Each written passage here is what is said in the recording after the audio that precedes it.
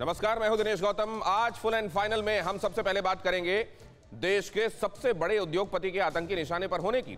Antilia case में जैसे जैसे जाँच आगे बढ़ रही है, साजिश की नई परतें खुलती जा रही हैं। जेलेटिन, स्कॉर्पियो, इनोवा और सीसीटीवी से मिले सुराग आतंकी साजिश होने का इशारा कर रहे हैं। इसके साथ ही हम बात करेंगे एलओसी की भी, जहाँ खान साहब घबराए हुए हैं। बात समझौते की आड़ में साजिश की भी होगी, लेकिन फ़ोन एंड फाइनल की शुरुआत करेंगे।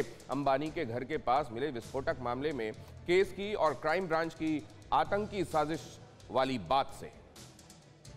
यह अहम खबर देखिए। एंटीलिया केस में 48 घंटे बाद भी मुंबई पुलिस के हाथ खाली हैं। अब तक पुलिस के हाथ नहीं लगा है कोई ठोस सुराग। एंटीलिया केस में आतंकी एंगल से भी जाँच की जा रही है।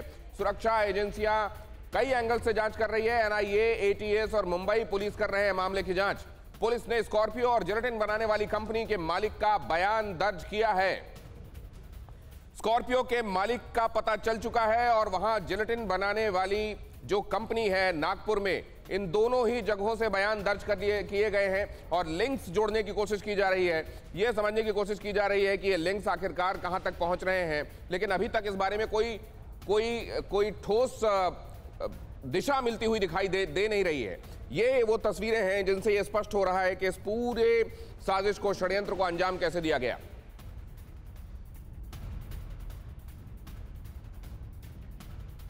अश्विनी पांडे, हमारे संवाददाता विपिन चौबे, इस बारे में और ज़्यादा जानकारी लेकर हमारे साथ जुड़ेंगे और इसके अलावा विक्रम सिंह साहब, पूर्व डीजीपी उत्तर प्रदेश के आ, वो हमको ज्वाइन कर रहे हैं। लेकिन सबसे पहले इस मामले में लेटेस्ट क्या है जान लेते हैं अश्विनी चौबे और अश्विनी पांडे और विपिन चौबे से। विपिन सबसे पहले अब से कुछ देर बाद एक प्रेस कॉन्फ्रेंस की बात भी की जा रही है। क्या पुलिस इस मामले में कुछ कह सकती है? देखिए जो अभी तक की 48 घंटों की जाँच है उसमें जो सबसे बड़ा चैलेंज है उन चैलेंजेस को क्या पुलिस ने पूरा कर लिया है कि नहीं है? सबसे बड़ा चैलेंज ये है कि साजिशकर्ता तक पहुँचा जा सके। दूसरा वो व्यक्ति इन साजिशकर्ताओं तक पहुँचा सकता है, जिसने स्कॉर्पियो खड़ी थी, खड़ा करके, पार्क करके इनोवा गाड़ी में सवार होकर चला गया था। इनोवा को दो तीन जगह टोल पे, टोल के सीसीटीवी में स्पॉट ज़रूर किया गया है, लेकिन अभी तक वो इनोवा गाड़ी बरामद हुई है या नहीं हुई है, पुलिस ये बता सकती है। तीसरी बात, जो जिलेटिन बरामद हुई है, जो जिलेटिन बनाने वाली कंपनी है, उसके मालिक का बयान आ चुका है। उसने साफ़ किया कि हम बॉक्स में पैक कर देते हैं। अगर बॉक्स मिले तो हम ये बता सकते हैं कि ये माल किसको सप्लाई हुआ था, लेकिन जिलेटिन को देख के हम नहीं बता सकते हैं। तो तीन चार चीज़ें हैं जिसको पुलिस को पता करना है। तो संभावना यह है कि शायद इस प्रेस कॉन्फ्रेंस में कुछ सवालों के जवाब पुलिस को मिल गए हों और उन सवालों के जवाब पुलिस दे। लेकिन अभी ये कहना थोड़ा असंभव है, गौतम दिनेश, कि शायद पुलिस इस पूरे मामले का खुलासा कर दे, क्योंकि एक बड़ी साजिश है, बहुत वेल प्लान तरीके से इसको अंजाम दिया गया है और इसके तार कई बड़े लोगों से जुड़े हो सकते हैं। और और एक जो सबसे महत्वपूर्ण बात आ रही है कि अभी तक पुलिस ने टेरर एंगल आतंकी एंगल को इनकार नहीं किया है इसीलिए ये सबसे महत्वपूर्ण बात है ये सबसे महत्वपूर्ण बात है कि देश के सबसे बड़े बिज़नेस फैमिली को क्या आतंकी संगठन भी निशाना बना रहे हो सकते हैं? लेकिन जो चिट्ठी मिली थी उसके अंदर उसमें साफ़ ये दिखाई दे रहा है अगर वो चिट्ठी प्लांट बाद में किसी ने नहीं की है अगर उन्हीं लोगों ने ये चिट्ठी छोड़ी है जो जो जो इस पूरी डिज़ाइन के करता धरता है तो ये स्पष्ट हो रहा है कि उन्होंने ये ये धमकाने के लिए किया था। मैं अश्विनी से भी एक अपडेट जल्दी से ले लेता हूँ।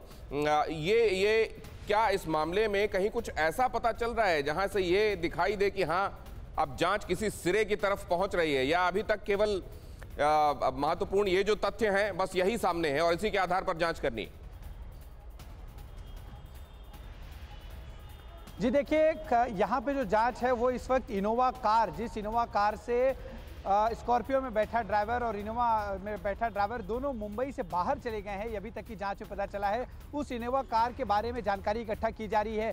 जानकारी ये भी पता चली कि इनोवा कार हो सकता है कि महाराष्ट्र के बाहर चली गई हो, क्योंकि पड़का का जो टोल नाका है, वहाँ से भी गुजरने की जानकारी सामने आई है। तो ये पुलिस के लिए जितने भी टोल हैं, बड़े खासतौर पे नासिक रूट पे, उस टोल की जाँच कर रही है। वहाँ की लोकल पुलिस को अलर्ट किया गया है। इनोवा का जो कलर है और जो नंबर प्लेट है उसकी जानकारी दी गई। लेकिन सबसे बड़ा सवाल यह है कि इनोवा का जो नंबर प्लेट लगाया गया था वो फर्जी था। ऐसे में जो आरोपी हैं हो सकता है कि वो नंबर प्लेट उन्होंने फिर कहीं बदला हो। तो ये तमाम ऐसी संभावनाएँ जिसके इर्द गिर्द जाँच घूम रही है। सबसे महत्वपूर्ण है उन दोनों तक पहुँचना जिन्होंने इस पूरी घटना को अंजाम दिया है उन तक पहुँचने की जो तमाम आ, जो कोशिशें हैं वो की जा रही हैं। थोड़ी देर में ज्वाइंट कमिश्नर अब इस बात इस बात पर निगाह रखते हैं कि क्या कहने वाली है पुलिस? कुछ देर में प्रेस कॉन्फ्रेंस में क्या इस बारे में कोई ज़िक्र होता है कि नहीं? विक्रम सिंह साहब के पास में जाऊँगा। विक्रम सिंह साहब ये समझा जाता रहा कि उन्नीस के बाद से मुंबई में इतनी व्यवस्था कर ली गई है कि यूँ अचानक से कहीं पर प्लांट नहीं कर दिया जाएगा और लोग करके निकल नहीं जाएँगे। ये समझा गया कि कम से कम 26 ग्यारह के बाद तो इसको और पुख्ता कर लिया गया होगा, लेकिन लगता नहीं है। अभी भी लूप होल्स हैं और तगड़े लूप होल्स हैं। दिनेश जी, आपका सही निष्कर्ष है। तिरानवे के बाद ये सही था कि कुछ हमको संतोष था कुछ व्यवस्था के बारे में। लेकिन 26 ग्यारह के बाद वो हमारा जो समाधान था, यह हमारी आश्वस्तता थी, उस पर प्रश्न चिन्ह लगा। और उसके कालांतर में भी देखें, अपनी आलोचना करने में कोई बुराई नहीं है, क्योंकि अगर हम सेल्फ ऑडिट नहीं करेंगे तो हम आगे कैसे बढ़ेंगे?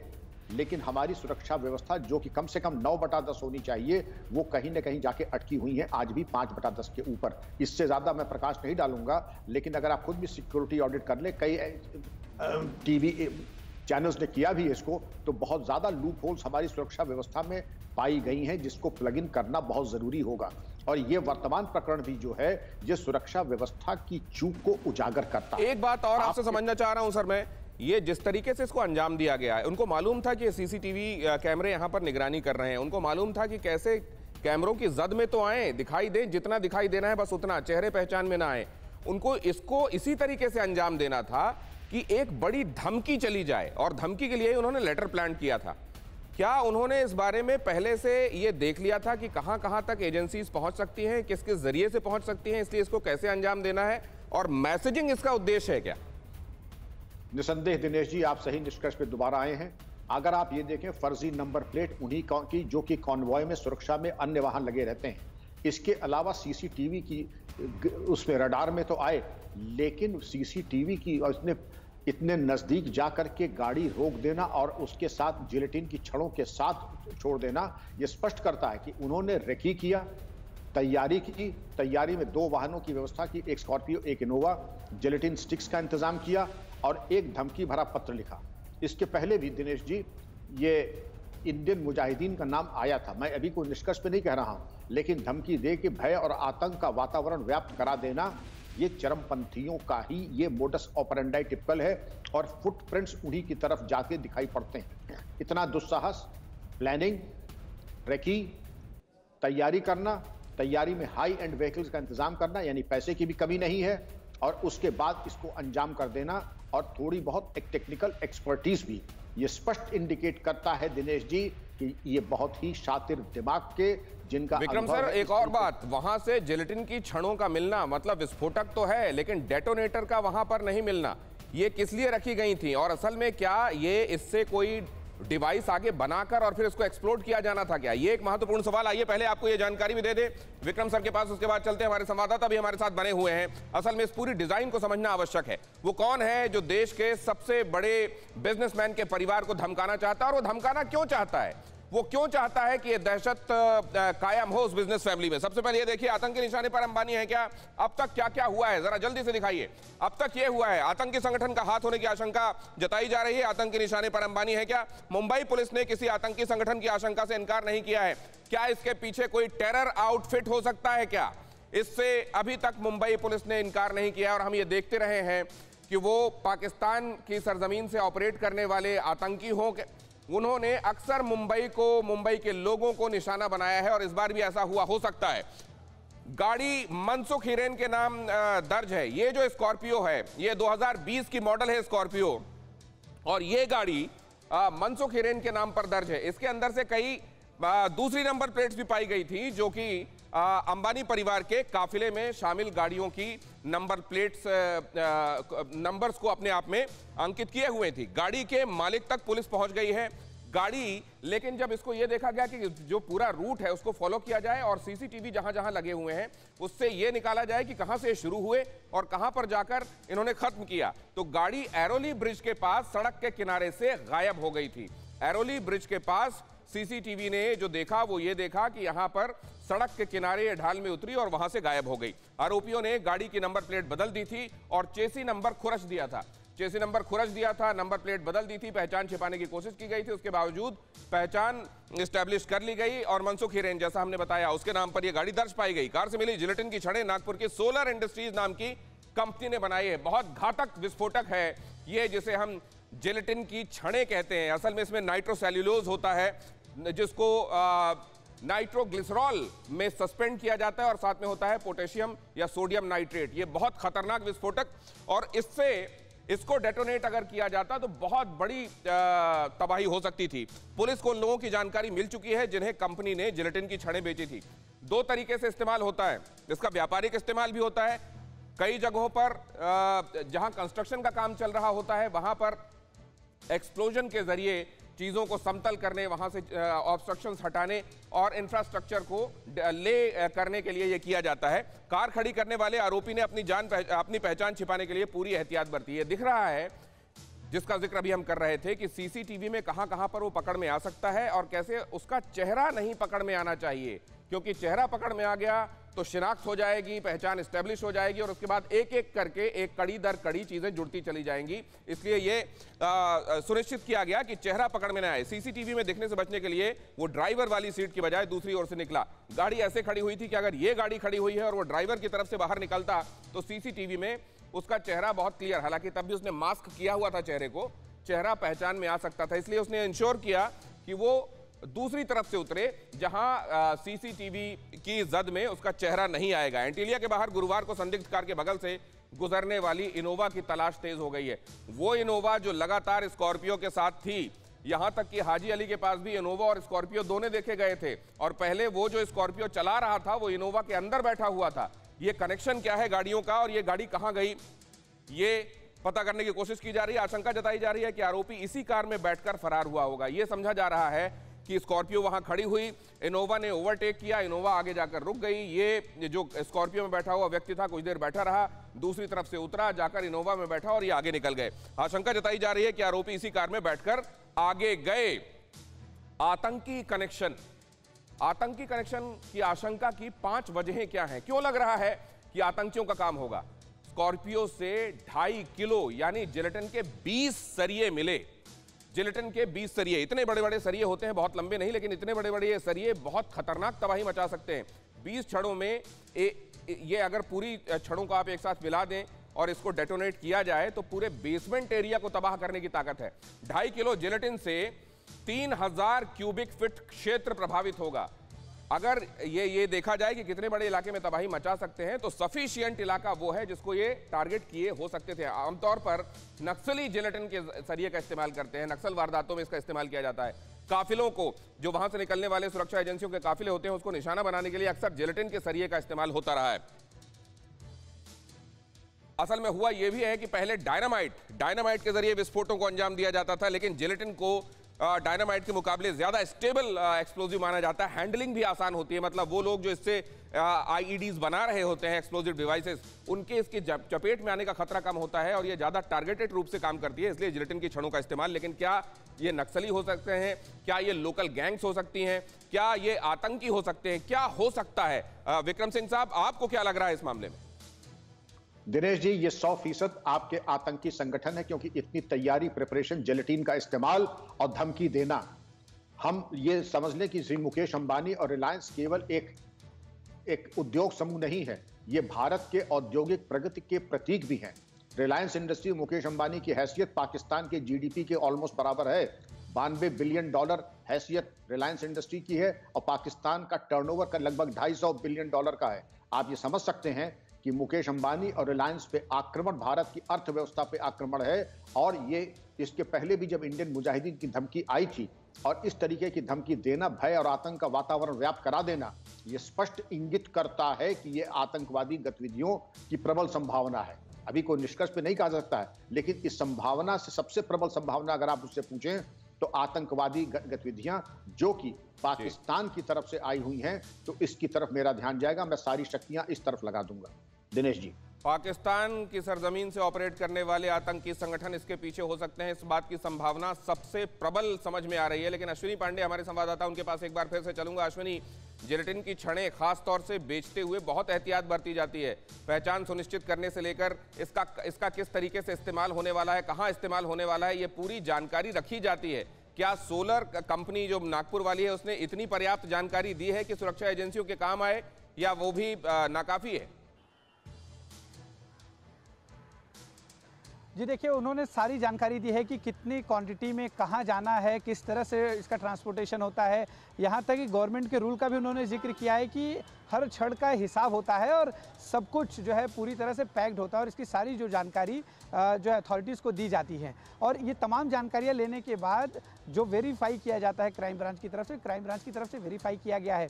क्राइम ब्रांच ने यहाँ तक कि जो जिस गाड़ी में ये जिलेटिन की छड़ें मिली हैं, उस गाड़ी के मालिक जो मनसुख हैं उनकी बात को रिकॉर्ड करने के बाद उनकी तमाम बातों को वेरीफाई किया जा रहा है। क्या ये सत्रह तारीख को थाना में रहते हैं? ये मुलुन टोल नाके से मुंबई में आए थे या नहीं? इन्होंने जो गाड़ी एरोली में ही क्यों खड़ी की? ये तमाम चीज़ें वेरीफाई की जा रही हैं। जब हमने कल आ, कुछ अधिकारियों से बातचीत की तो उनका कहना था कि हमने किसी को अभी तक क्लीन चिट नहीं दी है। चाहे वो नागपुर की कंपनी हो जहाँ की ये जिलेटिन छड़े बताई जा रही है चाहे आ, जिसकी गाड़ी विक्रम सिंह साहब इसी वक्त कुछ कहना चाह रहे हैं। जरा उनसे समझिए वो क्या कहना चाह रहे हैं। विक्रम सिंह साहब। जानकारी जी, दिनेश जी जेलेटिन की स्टिक्स जो है, इसकी सेल और परचेज और इसका भंडारण पूरी तरीके से सरकार के नियंत्रण में होता है। दुर्भाग्य से जहाँ अवैधानिक खनन होता है, आपने सुना होगा, लगभग चार दिन पहले कर्नाटक में बड़ी मात्रा में जेलेटिन स्टिक्स बरामद हुई हैं। तो जहाँ अवैधानिक खनन होता खनन होता है, वहीं के आपराधिक तत्व इन जेलेटिन स्टिक्स को प्राप्त करते हैं, चाहे रिश्वत दे करके या चोरी करके, और उसके बाद इनके माध्यम से अन्य असामाजिक तत्वों को, और कई इंट्रोगेशन में मैंने जब पता लगाया तो चरमपंथी यही कहते हैं कि हमने इसको अपराधियों से ही प्राप्त किया था। तो इस एंगल को भी मैं उम्मीद करता हूँ कि मुंबई पुलिस ज़रूर देख रही होगी। आपराधिक तत्वों से अगर प्राप्त किया है तो उसका लेखा जोखा होने की संभावना तो छोड़ दीजिए, उसका लेखा जोखा मिलेगा भी नहीं। लेकिन उन आपराधिक तत्वों के पास ये जल्दी से कैसे गई, ये एक दूसरा विवेचना का प्रश्न होगा। ये बहुत महत्वपूर्ण जानकारी विक्रम सिंह साहब कह रहे हैं कि हो सकता है जिन्होंने खरीदा हो, उन्होंने जेनविन पर्पस के लिए ही खरीदा हो, लेकिन उनसे कब ये चोरी कर लिया गया या उनके पास से उनके उनके उनके कंट्रोल से हटाकर इस इस्तेमाल के लिए ले जाया गया। इस पर पड़ताल करनी पड़ेगी। अब सवाल ये है विपिन, कि ये दोनों ही चीज़ें, एक तो ये गाड़ी जिनकी है, उनके अधिकार में कब तक थी, कब उनके पास से गायब हुई गायब हुई तो उन्होंने एफआईआर की कि नहीं की, ये तमाम चीज़ें कोई इशारा कर रही हैं क्या? नहीं, देखिए, ये जानकारी तो मिल चुकी है। स्कॉर्पियो के बारे में ये जानकारी मिल चुकी है कि ये गाड़ी किसकी थी, ये गाड़ी कब गायब हुई, ये गाड़ी की एफआईआर कब हुई, और जिस स्थिति में इस गाड़ी को छोड़ा गया, वहाँ से गाड़ी कैसे गायब हुई, उसके बाद इन्होंने क्या एक्शन लिया, ये सारी चीज़ें सामने आ चुकी है। पुलिस के इंट्रोगेशन में और इन्वेस्टिगेशन में सामने आ चुके हैं, लेकिन पुलिस उस जो बयान है, उस बयान को वेरीफाई कर रही है। लेकिन इसके साथ ही पुलिस को सामने दूसरा बड़ा चैलेंज ये है कि जो दूसरी गाड़ी है, वो इनोवा कहाँ है? क्यों? और जो तीसरी बड़ी बात यह है कि जो शख्स इनोवा और स्कॉर्पियो में बैठ कर आया था, स्कॉर्पियो गाड़ी पार्क करके इनोवा में बैठ कर सवार होकर चला गया, वो अगर हाथ लग जाए तो इस कड़ी में एक बड़ा खुलासे की उम्मीद की जा सकती है और इसीलिए पुलिस अभी हाथ पैर मार रही है। तमाम तीन तीन एजेंसियाँ इस पूरे मामले में लगी हुई हैं, जाँच कर रही है और पुलिस ने अब मीडिया से भी बात करना बंद कर दिया है। और संभावना यह है कि थोड़ी देर बाद प्रेस कॉन्फ्रेंस होगी। शायद पुलिस के हाथ में कोई कड़ी होगी लेकिन जब तक पुलिस उस आखिरी शख्स तक नहीं पहुँच जाती तब तक इस मामले का खुलासा होना बहुत मुश्किल आप प्लीज़ उस पर निगाह रखें ये प्रेस कॉन्फ्रेंस बहुत अहम है और इसमें क्या कहा जाता है वो भी अहम है और खासतौर से पुलिस को ये भी ध्यान रखना है कि जितना जनता को और आप लोगों को बताना है वो बताए लेकिन वो जो जाँच के हित के खिलाफ हो सकता है उसको ज़ाहिर है उनको गोपनीय भी रखना है। बहुत शुक्रिया। आ, आगे भी आपसे जानकारी मैं लेता रहूँगा। विक्रम सिंह साहब बहुत धन्यवाद आपने जानकारी के लिए बातचीत के लिए एनालिसिस के लिए वक्त निकाला। और अब दूसरी अहम खबर का रुख करें। पाकिस्तान को भारत की सर्जिकल स्ट्राइक का खौफ है। पाकिस्तान आर्मी ने एंटी एयरक्राफ्ट गन की तैनाती कर दी है। मुजफ्फराबाद बहावलपुर और ग्वादर में एयर डिफेंस सिस्टम तैनात कर दिया गया है। पाकिस्तान आर्मी ने एंटी एयरक्राफ्ट गन की तैनाती की है। मुजफ्फराबाद बहावलपुर और ग्वादर में एयर डिफेंस सिस्टम तैनात कर दिए गए हैं। क्या डर सता रहा है? पाकिस्तान को अगर उसने वाकई डीजीएमओ लेवल की बातचीत में जो सदाशयता ज़ाहिर की थी, अगर अगर पाकिस्तान वो मीन करता है, अगर पाकिस्तान का मतलब था वाकई कि वो चाहता है सीज फायर वायलेट ना हो, अगर वो चाहता है कि अब एक बार फिर से गुड सेंस प्रिवेल करे तो फिर ये तैनाती क्या कहती है? किस बात का डर उसे लगा हुआ है? या उसने सीज फायर अब नहीं वायलेट करेंगे? अब हम चीज़ों को सामान्य रखेंगे। इस आड़ में कोई गड़बड़ी फैलाने की नीयत रखी हुई है, इसीलिए ये तैयारियाँ दिखाई दे रही हैं।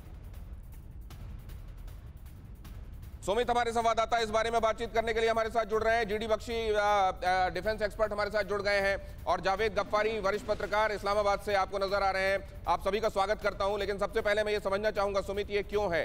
भारतीय जो पक्ष है, वो इसको किस तरीके से देख रहा है? देखिए, भारतीय पक्ष को अगर हम थोड़ा सा साइड करके ये देखें कि आखिरकार पाकिस्तान किस तरीके से बौखला चुका है। अगर आप देखें दिनेश, कल बालाकोट की एनिवर्सरी थी और अभी ये खबरें लगातार पिछले कभी काफ़ी लंबे समय से आ रही हैं कि उन्होंने इन सारे इलाकों के अंदर अपनी एयर डिफेंस गन लगा दी और किन इलाकों में जहाँ पर उनके टेररिस्ट कैंप मौजूद हैं।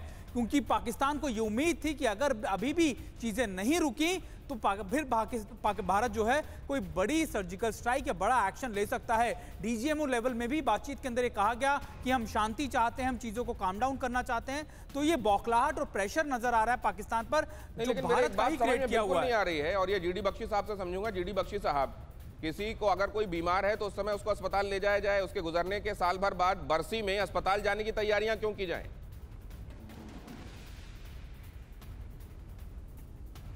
देखिए साहब, बात ऐसी है चीन के जो कि मिलिट्री थ्योरिस्ट थे, सुन जू, उन्होंने कहा था make an uproar in the east strike in the west all warfare is based on deception हम लोग हैरान थे कि चीन और जो आका है पाकिस्तान का, और पाकिस्तान दोनों एक जो है पीस ऑफेंसिव में लगे हुए हैं। शांति की बातें कर रहे हैं, बड़े जो है रीजनेबलनेस गुडविल की बातें कर रहे हैं। तो जो हम पुराने फौजी हैं, हमें तो साहब एकदम शक का एंटीना खड़ा होता है कि साहब दाल में कुछ काला है, दाल में कुछ काला है। एक तरफ़ से डीजीएमओ की बातचीत हुई, दो वजह उसकी हो सकती हैं। पिछले साल चीन ने देखा था कि पाकिस्तान का मुराल बिल्कुल बूट में पहुँच चुका है, खासकर उड़ी के बाद, बालाकोट के बाद, पिटने के बाद। पाकिस्तान बहुत सहम गया है और 370 हटाने के बावजूद वो कश्मीर में कोई बड़ा वारदात नहीं कर पाया। तो चीन ने पाकिस्तान को प्रोत्साहन देने के लिए ईस्टर्न लद्दाख में कार्रवाई शुरू की थी कोविड की आड़ में। चीन को साहब लेने के देने पड़ गए। उल्टे बाँस बरेली को हो गया। जब पाकिस्तान ने देखा कि उसका आका सहम गया है और पीछे की तरफ़ जा रहा है, पीछे की हरकत शुरू हो गई है ठंड में चीन के सैनिकों के बुरे हाल हो गए हैं और वो किसी भी कीमत पे डिसंगेजमेंट करना चाहते हैं। तो पाकिस्तान ने भी इसके साथ जो है शांति की नॉइजेस शांति की बातचीत शुरू कर दी। लेकिन मेरा ख्याल है कि हम ज़रूर हम वी वेलकम कोई भी पीस इनिशिएटिव लेकिन जब तक पाकिस्तान टेरर का दुकान बंद नहीं करेगा कोई पीस का चांस नहीं हो सकता।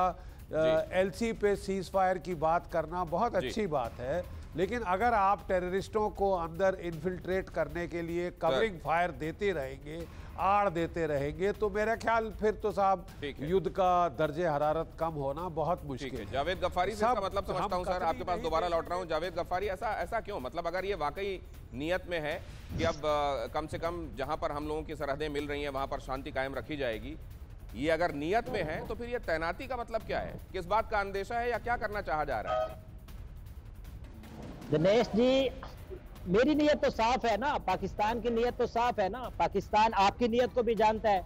और जैसा कि जीडी बख्शी जी ने बताया सारा कुछ, और ये अल्लाह की मेहरबानी से हमेशा यही बताते हैं, उलट ही बताते हैं नेगेटिव ही बताते हैं, इनका बिकता ही नेगेटिव है, क्योंकि पॉजिटिव इनको बात आती नहीं है। पॉजिटिव बात ये अगर करें तो ये फिर आप इनको लिफ्ट नहीं करवाएँगे।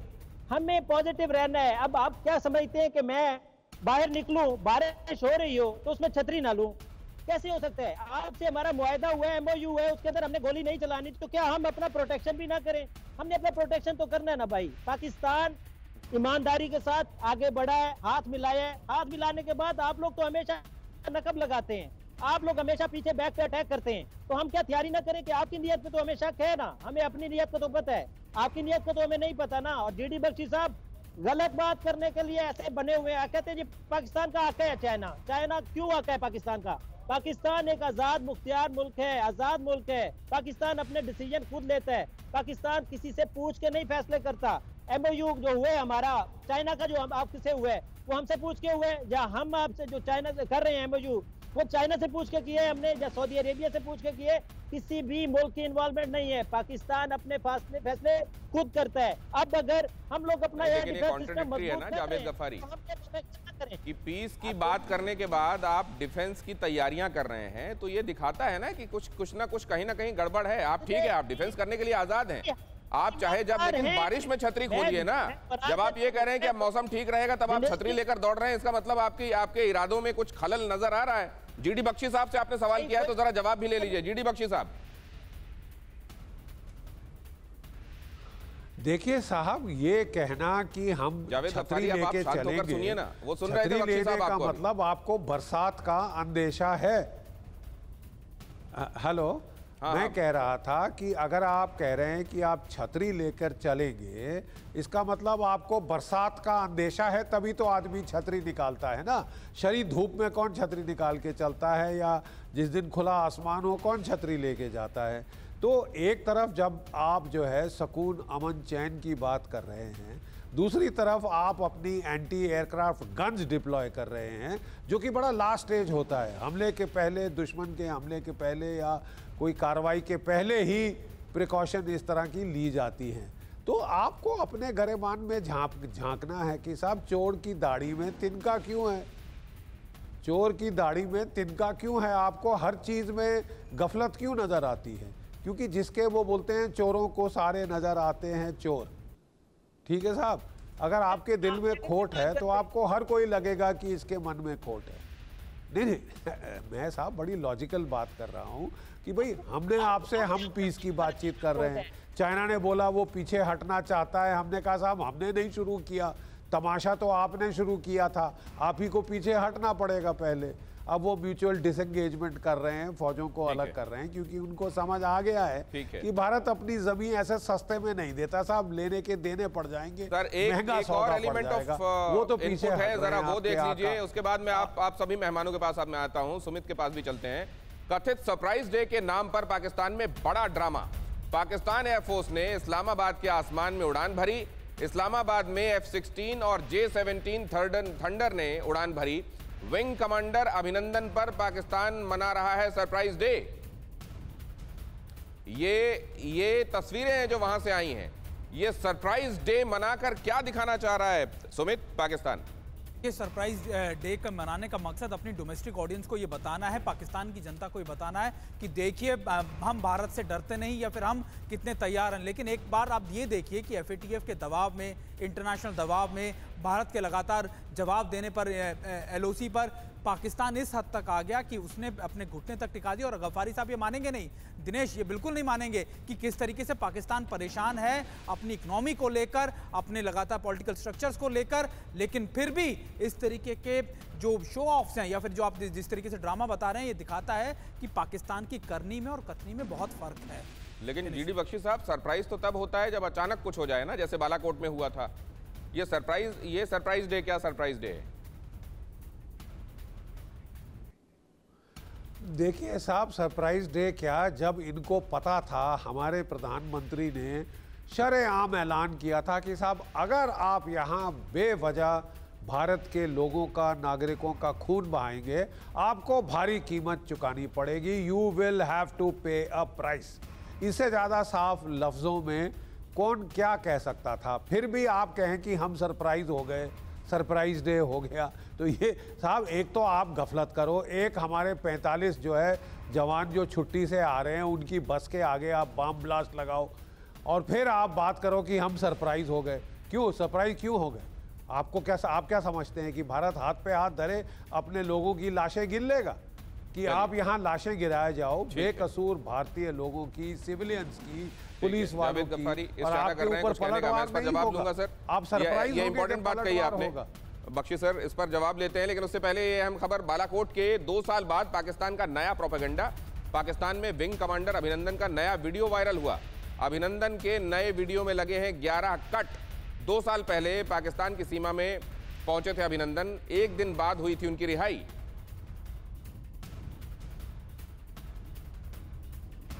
ये बात के लिए रखा गया हथियार है सुमित क्या है इसका मतलब क्या है? देखिए ये सिर्फ़ प्रोपोगंडा है दिनेश और ये प्रोपोगंडा इसलिए क्योंकि पाकिस्तान को अपने आवाम को ये दिखाना है जताना है कि किस तरीके से उसने मुँह की नहीं खाई। लेकिन दो साल पहले पूरी दुनिया ने देखा कि जब भारत को रिस्पॉन्स देना पड़ा तो किस तरीके से भारत ने बालाकोट में एयर स्ट्राइक की और ये भी दिखा दिया कि कैसे अभिनंदन को वापस भी लाया गया सुरक्षित तरीके से। ये पाकिस्तान पर दबाव था और ये उन्होंने अपनी पार्लियामेंट में माना है। और पुलवामा भूल चुके इमरान को बालाकोट की याद आ गई है। बालाकोट बालाकोट एयर स्ट्राइक, पाकिस्तान के पीएम इमरान खान ने सीज फायर समझौते का स्वागत किया है। ट्वीट करके कश्मीर का रोना रोया है। कश्मीरी लोगों की आत्मनिर्भरता के लिए, आत्मनिर्भरता के लिए, उनको सेल्फ रिलायंट बनाने के लिए कदम उठाए जाएँ कहा है इमरान खान ने। और इमरान खान ने कहा है कि कश्मीर पर United Nation Security Council resolution का ध्यान रखा जाए।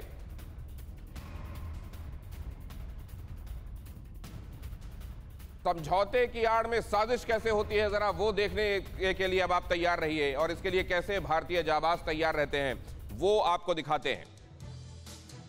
सीज फायर समझौते के बावजूद नदी नालों से घुसपैठ कराने की फिराक में है पाकिस्तान। आतंकियों को उस रास्ते से भेजने की फिराक में है। पाकिस्तान के शकरगढ़, कलेल और सियालकोट इलाकों में बने लॉन्चिंग पैड से भारत की सीमा में आतंकवादियों को दाखिल कराने की फिराक में है पाकिस्तान। खुफिया जानकारी के मुताबिक, पाकिस्तान अब नदी नालों के ज़रिए घुसपैठ करवाना चाहता है और यह पहली बार नहीं है, पहले भी कोशिशें की गई, लेकिन भारत ने पुख्ता तैयारियाँ की, कभी सुरंग खोदकर, कभी नदी नालों के ज़रिए, और घुसपैठ की आशंका को देखते हुए अत्याधुनिक हथियारों से लैस बीएसएफ बोट अभी पेट्रोलिंग कर रही है उन जगहों पर, जहाँ से इस घुसपैठ के अंदेशे बने हुए हैं। 2020 से अब तक पाकिस्तान की तरफ़ से 5000 से ज़्यादा बार सीज फायर का उल्लंघन किया गया है। सीज फायर समझौते के बाद बॉर्डर पर खुशहाली लौटी है। बच्चों ने बॉर्डर पर तिरंगा लहराकर खुशियाँ प्रकट की हैं और इस बात से पाकिस्तान को और ज़्यादा दिक्कतें हो रही हैं। जावेद गफ्फारी साहब, अगर अमन की बात होती है ना तो अमन कायम करने के लिए नियत लानी चाहिए और वैसी कोशिशें करना चाहिए। बात अमन की और हाथ में छुरा तो फिर कैसे चलेंगी अमन की कोशिशें आगे? जी बदमनी की बात कौन कर रहा है। आप ये देखें हम सरप्राइज़ डे मना रहे हैं और फखर से मना रहे हैं और आपके अभिनंदन को आप लेके नहीं गए थे, हमने भेजा था। आप ये पहले फिक्रे अपने दुरुस्त रखा करें। दूसरे नंबर पे आप पूछते हैं सरप्राइज़ डे का और जीडी बख्शी पैंतालीस उसकी अमवाद की खबर बताते हैं। आप ये देखें कि अभिनंदन जाते हुए क्या कह के गए थे? उन्होंने कहा कि I am find the Pakistan army very professional very fine बहुत ज़बरदस्त और प्रोफेशनल आर्मी है हमारे पास। ये मैं नहीं कह रहा अभिनंदन कह रहे हैं आप उनका इंटरव्यू करें उनसे पता नहीं क्यों नहीं करते आपका तो वो हीरो है। आज हम उनको याद कर रहे हैं जावेद गफ्फारी आपसे सुमित कुछ कहना चाह रहे हैं। सुमित तुरंत- साहब ना तो हम में से किसी ने ना नरुला साहब ने ना जीडी बख्शी ने किसी ने भी ये बात बिल्कुल नहीं कही कि किस तरीके से आपने भेजा। आपकी खुद की पार्लियामेंट में बात कही गई आपकी खुद की आवाम ये कह रही है आपकी खुद की मीडिया ने बात कही। हम तो सिर्फ़ उसको डिस्कस कर रहे हैं आपके लोगों ने माना पार्लियामेंट में माना और ये बात हर जगह दिखाई कि कैसे आपने अभिनंदन को भेजा और आप टीवी पर बैठकर कुछ भी कह लीजिए वो रिकॉर्ड मिटने वाला नहीं है गफारी साहब। कह रहा हूँ कि आप लोगों की ज़रूरत है तो कलभूषण जादेव को लेके जाएँ। कलभूषण जादेव हमारे पास बैठे हैं ना आप लेके जाएँ। आपकी ज़रूरत नहीं है अभिनंदन क्योंकि किसी और तरीके से ज़रूरत तो इसलिए नहीं है गफारी साहब क्योंकि matter International Court of Justice में चल रहा है। कोर्ट के मैटर का सम्मान करता है भारत इंटरनेशनल लॉ का करता है। आप भले ही ना करते हो लेकिन भारत ज़रूर करता है।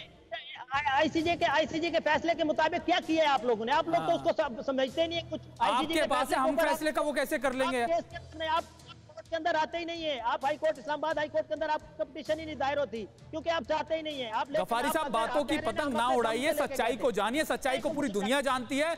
आपकी भी और हमारी भी पाकिस्तान की सच्चाइयाँ कैसी रही है? कारगिल में उससे पहले दुनिया जानती है। जरा ये पूछ लेते हैं कि इस बार जो इन्होंने बातचीत की है उसको लेकर कितना संजीदा है? पहले सोचा, मन बनाया इंट्रोस्पेक्शन किया और फिर बातचीत की डीजीएमओ लेवल पर। या ये वैसी ही बातचीत हो गई है जैसे न जाने कितनी बातें पहले हुई हैं। जावेद गफारी गणेश जी पाकिस्तान बहुत ही सीरियस है अमन के लिए और बहुत ही सीरियस कोशिशें करता है। लेकिन आपका मीडिया और जीडी बख्शी जैसे जैसे भी बैठे हुए हैं, वो नहीं चाहते, क्योंकि उनका तो हुक्का पानी यही है कि नेगेटिव बोलना है। अब नेगेटिव वो क्या बोले? पाकिस्तान ने अमन का हाथ बढ़ाया, पाकिस्तान ने अमन के मुहिदे पर साइन किया। ये क्या कहेंगे? जीडी बख्शी कहेंगे, नहीं जी, ये तो अच्छा नहीं हुआ। वो इनको तो अच्छा लगना ही नहीं है। आप खुद ईमानदारी से सोचें पाकिस्तान अगर अमन की बात कर रहा है पाकिस्तान अमन के लिए आगे बढ़ रहा है पाकिस्तान अमन के लिए मुआहदे कर रहा है तो पाकिस्तान तो संजीदा है ना? और आपकी आर्मी भी अगर प्रोफेशनल है तो वो भी संजीदा है। लेकिन कौन उसके ऊपर कीचड़ उछाल हैं?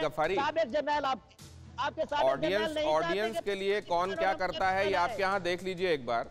और वहाँ जब आपकी फौजें मदाखलत करती हैं आपके आपके सिविलियन मैटर्स में जब वो सरकारें बनाकर वहाँ चलाने लग जाती हैं तो आप ये देखिए कि किसके लिए ये मैटर्स बने रहने में भलाई है।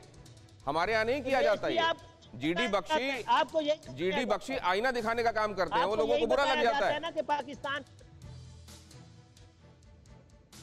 आपको यही बताया जाता है ना कि पाकिस्तान अफवाज इसमें करती हैं। पाकिस्तान अफवाज वही करती है जो हुकूमत कर, करना चाहती है। हुकूमत अगर इमरान अब आप ये मत कह दीजिएगा कि सिग्नल भी हमने कुछ करा दिया। ये हिंदुस्तान की साजिश है। अब इसमें मत आ जाइएगा प्लीज़ आप। जीडी बख्शी साहब, मैं आपके पास आने वाला हूँ, लेकिन उससे पहले खबर बता दूँ। सीज फायर समझौते की आड़ में पाकिस्तानी साजिश बेनकाब हुई है। आतंकियों को लेफ्टिनेंट जनरल वाई के जोशी की सीधी सीधी वार्निंग है कि घाटी में आतंकियों का सफाया जारी रहेगा। सीज फायर समझौते से एंटी टेरर ऑपरेशन नहीं रुकेंगे। मैं आप सबको विश्वास दिलाना चाहता हूँ कि इस सीज फायर का काउंटर टेररिस्ट ऑपरेशन पर कोई असर नहीं पड़ेगा। और हम लोग सतर्कता बनाए रखेंगे। लाइन ऑफ़ कंट्रोल पर फायरिंग बंद होने से शांति बहाल होगी और आवाम अपना जीवन को सुरक्षा और वातावरण में, सुरक्षा के वातावरण में बसर कर सकेगी। जीडी बख्शी साहब, आपने कहा था कि हमारे तो फ़ौरन एंटीने खड़े होते हैं कि ये हो क्यों रहा है? क्या इसीलिए हो रहा होगा? क्या ये कि थोड़ी सी असावधानी हो थोड़ा सा चीज़ों को कैजुअल लेने के मूड में इधर से दूसरा पक्ष जैसे ही आता है, घुसपैठ शुरू करा दो। देखिए साहब, ये पाकिस्तान की फितरत है, झूठ बोलना, फरेब करना और धोखा देने की कोशिश करना, लल करना कि साहब सब शांत हो गया है और एकदम से वार करना। तो जब भी पाकिस्तान शांति की बात करता है, ये मुल्क एकदम से हम पुराने सिपाहियों के तो एंटने खड़े हो जाते हैं कि साहब दाल में कुछ काला है, क्योंकि ये एक ऐसा मुल्क है जो ना चैन से जिएँगे, ना किसी को चैन से जीने देंगे। तो हमको बिल्कुल we should trust but verify बिल्कुल वेरीफाई करना पड़ेगा। देखिए, एक तरफ़ से ये कह रहे हैं, हम शांति चाहते हैं। दूसरी तरफ़ से ये टेरर को रीस्टार्ट करने की पुरजोर कोशिश कर रहे हैं। विंटर में इनके जो टेररिस्ट आते हैं उनके पाँव के निशान बर्फ़ में साफ़ दिखते हैं। इसलिए विंटर में इन्फिल्ट्रेशन इनकी वैसे भी डाउन हो जाती है। और ये क्या करते हैं कि कवरिंग फायर देते हैं इन्फिल्ट्रेट कराने के लिए। कवरिंग फायर देते हैं तो शांति कहाँ रहेगी? आप समझते हैं आप हमारे ट्रूप्स के सर पे फायर करें गोले दागें और हम चुपचाप हाथ पे हाथ धरे बैठे रह जाएँगे। इसलिए हम कहते हैं हम कथनी पे नहीं जाते। ठीक है ठीक एक करनी की आपने ये अहम बात कही है सर साहब कि। भरोसा कीजिए लेकिन वो एतबार अंधा ना हो। आप साथ में जांचते रहिए कि वैसा हो रहा है कि नहीं। गफ्फारी साहब कुछ कहने के लिए बेकरार हैं। आ रहा हूँ गफ्फारी साहब आ रहा हूँ आपके पास। सुमित लेकिन जल्दी से मैं आपसे ये समझना चाहता हूँ कि क्यों जोशी साहब को ये लगा होगा कि इसको रिटरेट कर दिया जाए अंडरलाइन कर दिया जाए। देखिए, बिल्कुल ये तो स्पष्ट है, जिस दिन डीजीएमओ लेवल की बैठक हुई 22 तारीख के बाद भी जब ये बैठक हुई, तब ये साफ़ कर दिया गया था कि भारत की तरफ़ से नो टॉलरेंस पॉलिसी टेररिज्म पर कोई काउंटर इंसर्जेंसी ऑपरेशन नहीं रुकेगा। No troop reduction on LOC forward areas और कश्मीर में भी। ये एक स्पष्ट बात है कि हम अपने ऑपरेशंस को रोकेंगे नहीं, ये ऑपरेशन ऑन गोइंग है, ये चलते रहेंगे, लेकिन सीज फायर वॉलेशन जिस तरीके से पाकिस्तान कर रहा था उसके खिलाफ भारत को रिटालिएटरी एक्शन नहीं करेगा। और अगर पाकिस्तान ने उसका उल्लंघन किया तो फिर भारत भी तैयार है भारत जवाब देगा। दिनेश ये बिल्कुल स्पष्ट है। ठीक है। वजीरिस्तान के ऑपरेशन में पाकिस्तान का तालिबानी कमांडर ढेर हो गया है। दक्षिण वजीरिस्तान में आतंकियों के खिलाफ सेना का बड़ा ऑपरेशन तहरीक तालिबान का नूरिस्तान उर्फ़ हसन बाबा मारा गया। दक्षिण वजीरिस्तान में उसने बनाया था कई आतंकी ठिकाने। पचास से ज़्यादा जवानों की हत्या में था वो शामिल। जावेद गफ्फारी, क्या कहना चाह रहे हैं आप?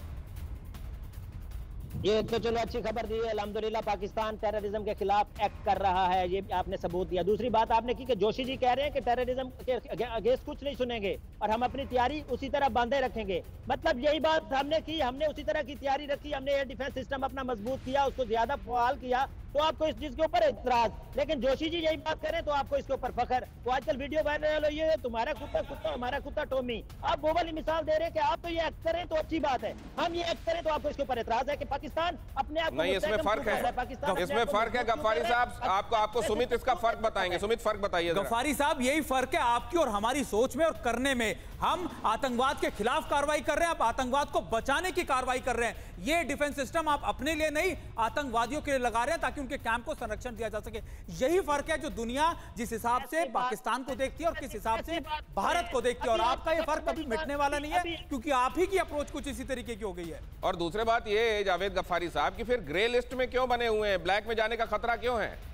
एफएटीएफ क्यों नहीं मान लेता इस बात को? खतरा है आप लोग आप लोग क्या चाह रहे हैं। आप लोग उन्हें ग्रे लिस्ट में भेजा आप लोग ब्लैक में भी तो भेजेंगे। आप अपना मिशन तो कंप्लीट करने की कोशिश करेंगे लेकिन हम भी तो ईमानदारी के साथ उससे निकलेंगे। इंशाल्लाह व्हाइट लिस्ट में वापस आएँगे आप देखेंगे। इंशाल्लाह हम व्हाइट में आएँगे। और आपने अभी कहा कि तालिबान कमांडर के खिलाफ ऑपरेशन पाकिस्तान आर्मी ने किया ना? इंडियन आर्मी ने नहीं किया ना? हम अगर कर रहे होते हैं उसको बचाने की कोशिश कर रहे तो हम ना करते ना। अभी आप कह रहे हैं टेररिज्म के खिलाफ पाकिस्तान कार्रवाई नहीं करता। अभी आप कह रहे हैं टेररिज्म के खिलाफ पाकिस्तान ने कार्रवाई की है। आपकी कौन सी बात को सच मानूं? आपको एक बात के ऊपर तो हटे ना। अभी आप कह रहे हैं पाकिस्तान के खिलाफ कार्रवाई कर रहे हैं उसने तालिबान का मर्डर पर है। लेकिन दुनिया को मानना चाहिए ना किस कार्रवाई को दिखावे की नुमाइशी कार्रवाई नहीं लगनी चाहिए ना दुनिया को। सवाल ये है जीडी बख्शी साहब ये ये अगर थोड़ा बहुत भी पीस बहाली हुई है ये जो बातचीत हुई है भगवान करे, इसकी उम्र दराज हो, लेकिन आपको क्या लगता है? देखिए साहब, वैसे तो इंसान उम्मीद पे जीता है, लेकिन हमारा तजुर्बा वेरी सैडली ये रहा है कि जब भी हमने पाकिस्तान की तरफ़ शांति का हाथ बढ़ाया, हमारी पीठ में खंजर घोपा गया है। आपको याद होगा कि हमारे प्रधानमंत्री मोदी जी खुद पाकिस्तान में अनशेड्यूल्ड स्टॉप किया नवाज़ शरीफ के घर गए उसकी पोती की शादी में शरीक हुए उसकी माँ के पाँव छुए क्या नहीं किया? सब आजमा लिया और हमको क्या मिला? पठानकोट में स्टैब इन द बैक वो हम जरा सा है कि आगे बढ़ने की कोशिश करी उड़ी में स्टैब इन द बैक फिर हमको हिट बैक करना पड़ा। हमको सर्जिकल स्ट्राइक करनी पड़ी। दो तीन महीने चुप रहे क्योंकि वो केवल जो स्पेशल फोर्सेस की शैलो डेप्थ की स्ट्राइक Right. फिर दोबारा पुलवामा में चोट करी। पीठ में खंजर घोपा। जब भी बातचीत इनकी शुरू होती है आप ये, ये इंपॉर्टेंट। बात जीडी बख्शी साहब तो आप कह रहे हैं वक्त इजाज़त नहीं दे रहा है और लंबी बातचीत आपसे मैं करता। लेकिन ये जो कहा गया कि हम दोनों ही ब्याज समेत देना जानते हैं। अगर आप सदाशयता दिखाएँगे तो निश्चिंत रहें आप हमारी तरफ़ से ज़्यादा सदाशयता पाएँगे। लेकिन अगर इसके उल्टा होता है तो भी आप निश्चिंत रहें। ब्याज समेत ज़्यादा ब्याज समेत हम चुकाएँगे। फुल एंड फाइनल सभी मेहमानों का धन्यवाद।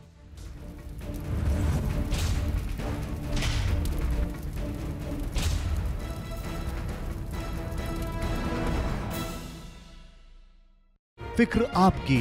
सोमवार से शुक्रवार रात नौ बजे सिर्फ़ टीवी नाइन भारत वर्ष पर।